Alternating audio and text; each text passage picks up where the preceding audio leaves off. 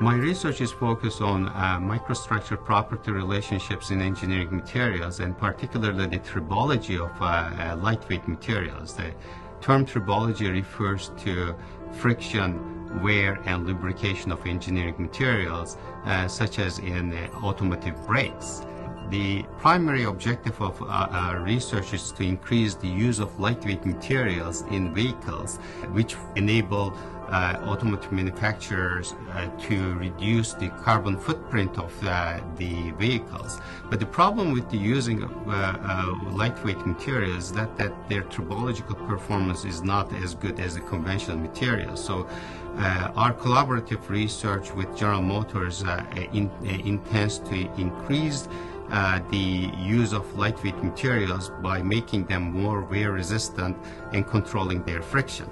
Our collaborative research efforts with General Motors have uh, led to the development of a new generation of internal combustion engines.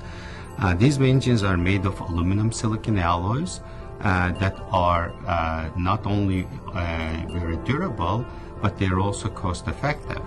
And because these new aluminum silicon engines weigh only 50% of the conventional uh, cast iron engine blocks, they provide exceptional fuel efficiency.